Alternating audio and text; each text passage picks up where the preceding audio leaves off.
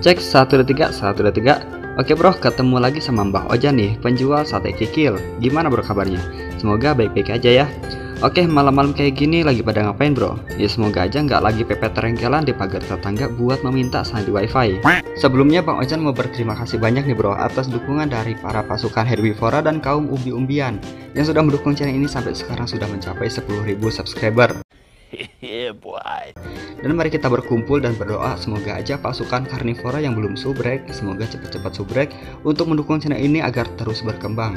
Soalnya dari zamanan dinosaurus punah sampai sekarang belum ada channel gede yang membahas tentang ulek-ulek mode magis dan tentang Android. Tahu udah gua ngomong apaan? Oke bro, daripada Ici Kimpring kelamaan basa-basi, mendingan langsung aja kita ke videonya. Di video sekarang Bang Ojan ingin membahas dan sekalian share nih mode Magis U Performance yang digabungkan dengan mode Magis Memory KTI. Mode Magis ini banyak banget yang nunggu sampai Bang Ojan disepam sama pasukan sabun. Ada yang nyepam lewat Telegram, ada yang nyepam lewat Instagram dan ada juga yang nyepam lewat grup WhatsApp. Bang Ojan ini seperti sejenis herbivore yang dikejar-kejar sama angsuran. Dan di sini juga Bang Ojan punya cuplikan sedikit nih bro. Bang Ojan tes menggunakan aplikasi thermal throttling. Di sini juga Bang Ojan belum menggunakan mode Magis U Performance dan belum menggunakan mode Magis Memory KTI. Pokoknya belum menggunakan mode Magis apa pun. Mungkin dari warnanya yang pertama warna hijau, kemudian turun ke warna kuning, habis kuning turun ke warna merah, dan habis merah turun ke warna ungu, dan di situlah rumah janda. Oh iya bro satu lagi nih hampir lupa. Bang Ojan harap sih kalian nontonnya sampai habis ya. Soalnya cara settingnya yang lumayan ribet Takutnya kalau misalkan kalian skip nanti kalian encok. Dan mode Magis ini enggak universal Hanya support untuk beberapa ubi kuku saja. Contohnya Exynos dan Snapdragon. Oke untuk tes thermal throttlingnya lumayan bikin mata pedas dan otak menjadi tetelo. Langsung aja kita bahas mode Magis U Performance Jadi fungsi dari mode Magis U Performance adalah pengontrol mode kinerja Android yang berfungsi untuk peningkatan mode kernel atau modifikasi kernel. Jadi mode Magis ini termasuk mode Magis kernel tweaking.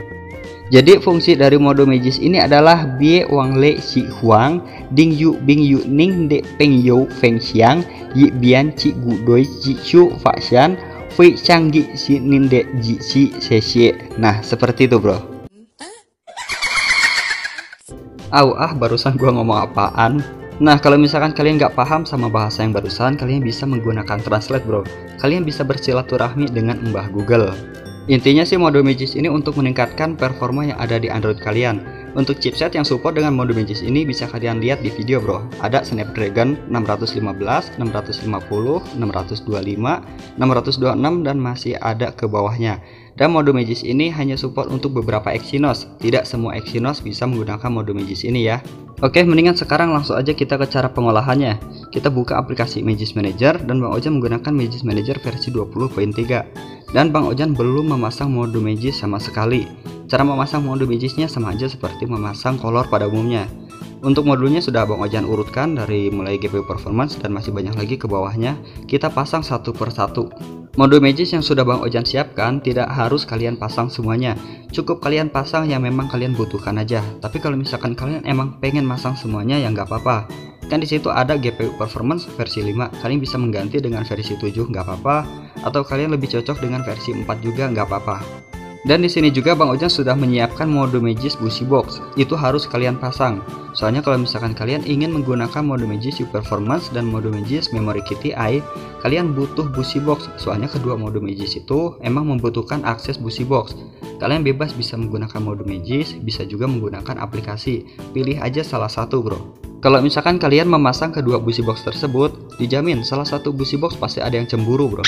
Oke untuk pemasangan mode magisnya sudah selesai, kita cek satu per satu dan jika sudah aman kita restart androidnya bro. Oke kalau misalkan ubi kukus telat ngangkat punya Bang Ojan sudah nyala artinya HP-nya kagak botlok bro Sekarang kita cek mode magisnya sudah terpasang atau hilang Kalau misalkan hilang fix yang kalian pasang itu adalah tuyul Untuk mode magis yang terpasang adalah busi box, ada thermal mode, ada memory KTI, ke bawahnya ada speednet, dan di bawahnya lagi ada U Performance, Lab GPU Performance, dan Power Berry Touch. Oke, untuk pemasangannya sudah selesai? Belum bro, masih ada kelanjutannya. Gimana sih caranya cek kalau misalkan mode Magis U Performance-nya itu sudah berjalan atau belum? Kalian buka aplikasi Road Explorer atau ya sejenisnya, intinya sih jangan membuka Shopee Ping. Kemudian kalian masuk ke folder Android. Nah, di dalam folder Android bakalan ada 6 script bro, nggak boleh ada 4, nggak boleh ada 10, apalagi nggak ada. Kalau misalkan nggak ada itu artinya gagal. Kalau misalkan nggak ada, kalian bisa tanyain ke temen yang ada di sebelah kalian, ya siapa tahu dia yang ngambil. Oke, untuk yang selanjutnya kalian geser aja pergi ke folder root. Selanjutnya kalian klik aja folder yang bernama data. Kalau misalkan sudah masuk, kalian cukup gulir aja ke urutan yang paling bawah sampai kalian menemukan tiga script yang bernama Power CFG Base, Power CFG, dan Upper Power Mode. Oke, kalau misalkan script yang sudah Bang Ojan sebutkan barusan, kalian temukan di folder tertentu, artinya mode Magis U Performance dan mode Magis Memory KTI memang berhasil terpasang. Sekarang kita cek JetRAM yang ada di ubi kukus Bang Ojan. Awalnya JetRAM yang ada di ubi kukus Bang Ojan itu sebesar 1073 yang artinya 1 GB. Setelah Bang Ojan memasang mode Magis Memory KTI harusnya sudah berubah. Sekarang kita ketik aja su, kemudian kita tekan enter, kita akses permission superusernya, kemudian kita ketik lagi free. Kemudian kita tekan enter dan di sini berubah menjadi 2147 yang artinya JetRAM yang ada di dadar gulung atau ubi kukus Bang Ojan berubah menjadi 2 GB. Jadi sudah bertambah 1 GB ya, Bro. Karena settingan mode Magis U Performance ini lumayan panjang, jadi sama Bang Ojan dibuatkan prat. Yang sekarang itu adalah prat 1, nanti besoknya adalah prat 2 dan masih ada prat 3-nya lagi. Sekarang sama Bang Ojan mau dites menggunakan aplikasi thermal throttling. Nanti untuk di prat 2-nya Bang Ojan bakalan share gimana sih caranya mengaktifkan JetRAM sebesar 6GB menggunakan mode Magis Memory KTI.